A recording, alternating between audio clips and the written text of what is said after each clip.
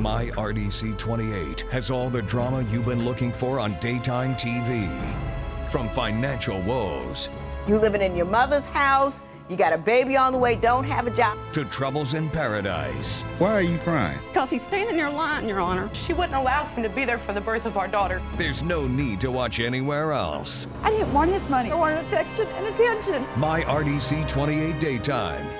Why watch soaps when we've got courts?